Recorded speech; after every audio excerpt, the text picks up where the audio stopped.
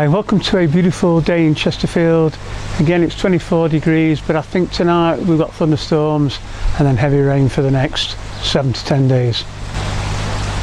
Before we get started in the video, if anybody wants any of these t-shirts with a Koi Enthusiast logo on them, just check the link in the details below. If any of you are watching are not already subscribed, please hit the subscribe button, the bottom corner, and check out some more videos. What this video is going to be about is I've got two koi that I've had them quarantined for a couple of weeks and I've given them a bit of treatment to get rid of sores and an ulcer. And on close inspection one of them I got a big ulcer on and it is a bit of a raggy koi. It is it's got a pop eye that's uh, scattered the skin over and it did have an ulcer but that ulcer is now cleared up thanks to the treatment. But the other one that's been in the pond the grey blue one it's still got sores down its side. It's no uh, it's not making any difference so what I thought I'd do is sedate it, give it a bit of treatment and then check it out again in about four or five days.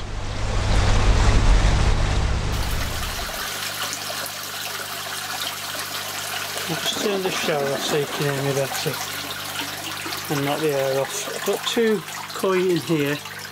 One had some sores down the top of its head which is the orange and white one. You can see from there it looks a lot better second one is the, uh, blue grey type that's got uh, sores down its side and they've just never gone over the last year. So what we're going to do is get them out, sedate them and give them some treatment. Before we get started, we need to sedate the koi. Using Kusuri Koi Sedate, other makes are available, Mix the ratio of 5 ml of sedate to the 5 litres of pond water and agitate. Place the koi in the solution and keep an eye on the fish until it rolls onto its side.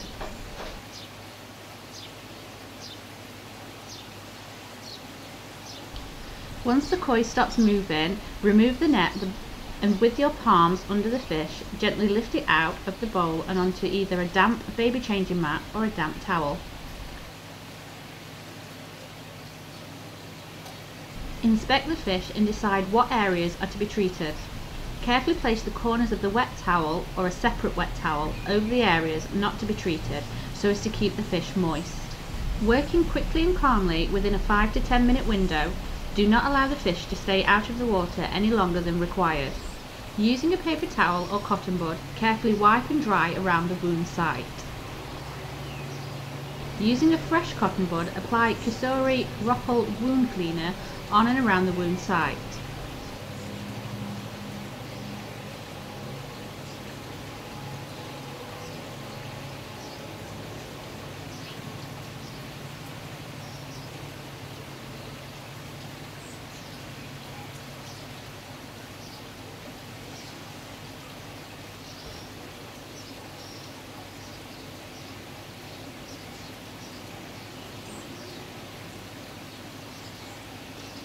Leave for 10 seconds, then repeat.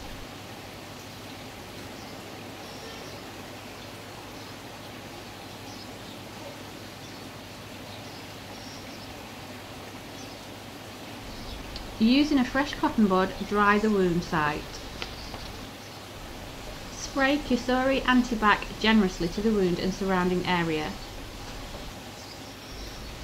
Pay careful attention to work the solution around any damaged skin or scales, avoiding disturbance to any good scales.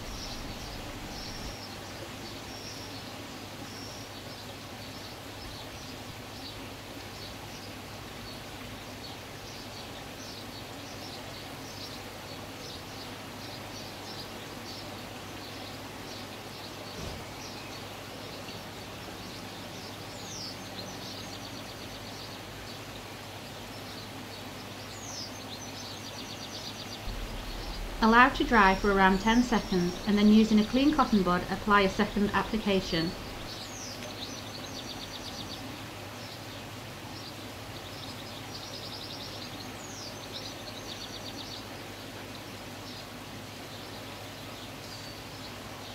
Before this dries, move quickly to the next stage. While still wet, carefully sprinkle Kusuri or adhesive powder onto the wound area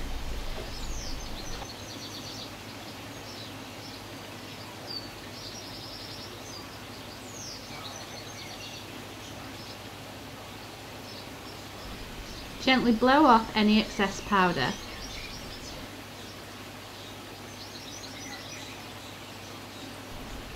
Using a filled spray bottle with neat tap water, lightly mist the wound site and apply a second coating of the adhesive powder.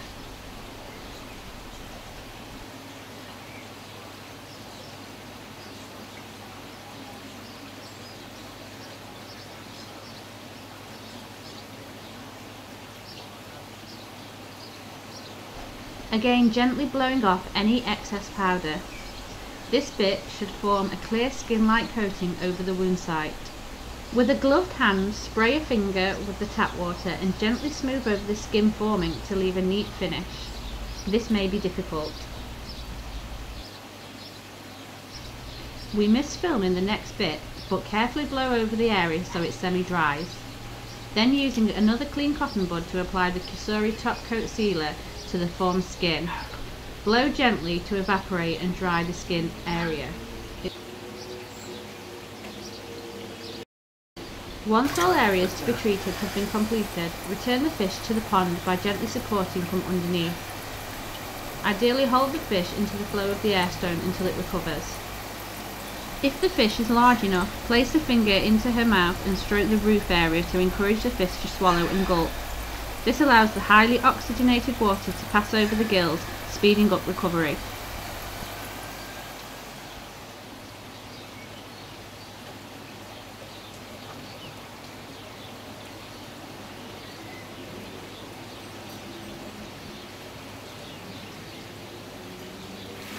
Let's just have a quick look at the sides of the koi and you can see there's no redness, no soreness, anything on there. Check the other side. If I can get the fish to turn. Yeah, just a little bit of ready flame bit. So I think I will do the second dose of it. Thanks a lot for watching the video. Sorry it's been so long before I could get the video out but I've been struggling a bit with uh, a bit of bad health, ill health.